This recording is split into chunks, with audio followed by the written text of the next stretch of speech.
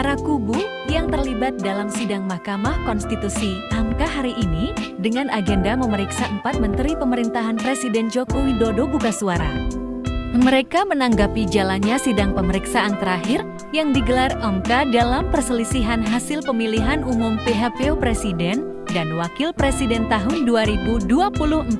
Empat kubu itu adalah tim hukum Anies Baswedan Muhaimin Iskandar dan Ganjar Pranowo Mahfud MD selaku pemohon, Komisi Pemilihan Umum sebagai pihak termohon juga angkat suara, begitupun tim hukum Prabowo Subianto Gibran Raka Buming Raka selaku pihak terkait. Mereka menanggapi materi yang disampaikan para menteri mengenai pemberian bantuan sosial menjelang pemilihan umum. Selain itu, juga mereka menanggapi keputusan MK yang mengadakan mekanisme baru yaitu pemberian kesimpulan oleh para pihak.